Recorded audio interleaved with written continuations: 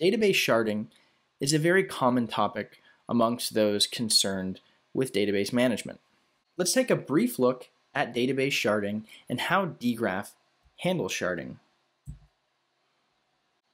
As your application grows, you need to start thinking about scaling your database to handle the increased amount of traffic and data. You have several options to consider, and one such option is sharding your database. Sharding splits up a large database into several smaller databases. Each of those components is called a shard. Sharding is considered an efficient way to scale horizontally. And this means that you're going to buy more machines or storage units and then divide your data amongst them. Each machine serves as a shard, acting as an entirely independent database. This approach falls under a distributed architecture where the total load is spread out across multiple services. Due to the smaller size of each shard, hardware requirements also tend to be smaller. You can scale out further and add more shards as your system grows. So even though the initial cost of setting up a sharded architecture is a little bit high, in the long run, as your application grows, it offers a more efficient way of scaling. Now let's begin to look at sharding in terms of dgraph.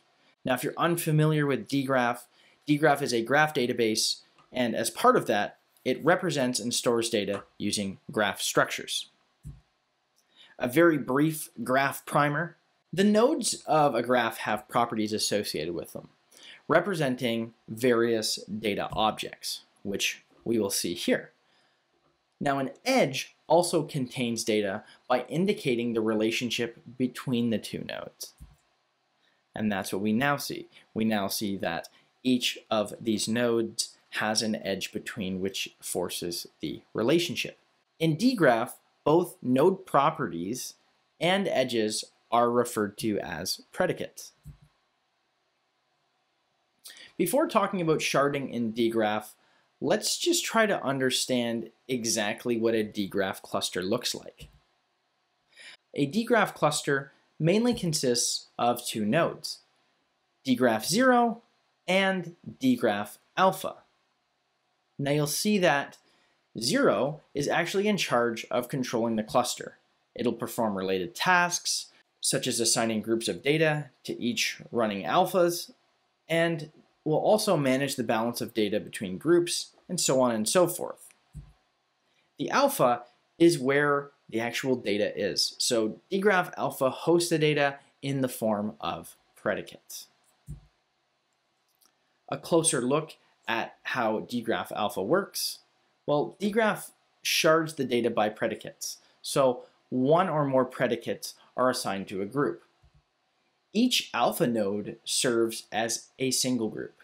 If you need more alpha nodes in the cluster, zero would further shard that data and assign them to new nodes. dgraph 0, on the other hand, periodically monitors and balances the data among the groups. This is done by watching the disk usage of each group, and if there's an imbalance, Zero would attempt to move the predicates to a group having lower disk usage. This way, you don't have to worry about inconsistent data across shards. You can scale and still maintain the flexibility needed to safely store and serve large data.